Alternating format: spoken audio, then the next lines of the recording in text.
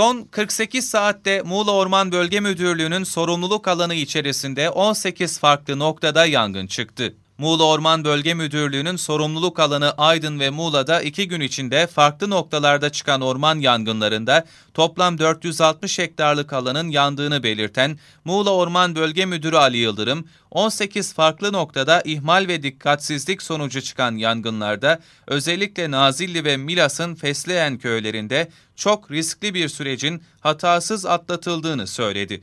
Cuma gününden itibaren Aydın'ın Nazilli, Söke ve Germencik ilçelerinde çıkan orman yangınlarında 230 hektar ormanlık, 100 hektarda tarım arazisinin zarar gördüğünü belirtti.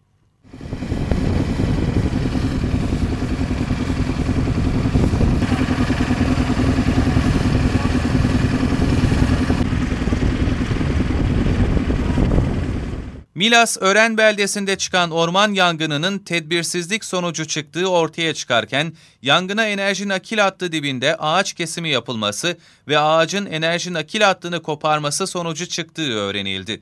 Ören beldesindeki orman yangınında 70 hektar orman ve 30 hektarda tarım arazisi yangını belirten Yıldırım, ihmal ve dikkatsizlik sonucu çıkan yangın, şiddetli rüzgarın etkisi ve arazinin de sarp olması nedeniyle pazar günü öğlen saatlerinde kontrol altına alındı. Aynı gün içerisinde Bodrum, Fethiye, Datça, Kavaklıdere ve Muğla'da çıkan yangınlardaysa 30 hektarlık ormanlık alan zarar gördü, dedi.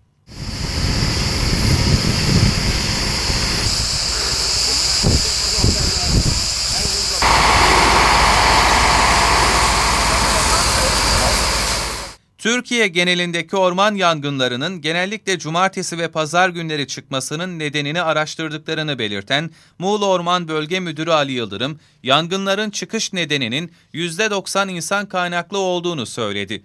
Yıldırım çıkan yangınlar ihmal ve dikkatsizlikten kaynaklanıyor.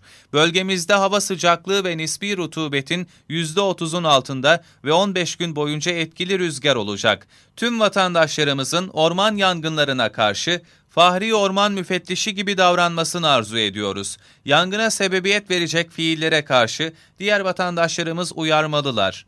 Yangın çıktığı an bize haber verirlerse anında müdahale etme şansımız yüksek olur. Ne kadar teknolojik altyapıya sahip olsak da ancak dumanı gördüğümüzde müdahale edebiliyoruz.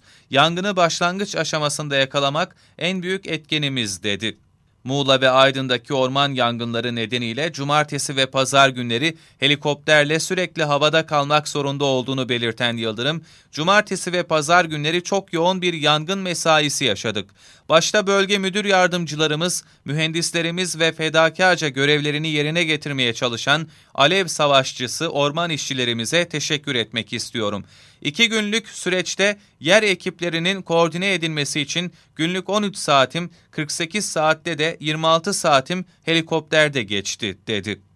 İki gün boyunca sadece 6 saat uyku uyuyabildiğini belirten Muğla Orman Bölge Müdürü Ali Yıldırım, sorumluluk bölgemiz Aydın ve Muğla'daki orman yangınlarında, Aydın'ın Nazilli ve Muğla'nın Datça ilçelerinde yangınlarda görev alan ekiplerimizi gün boyunca havadan yönlendirdik. Gece geç saatlere kadar yer ekipleriyle birlikte yangının söndürülmesi için çalıştık.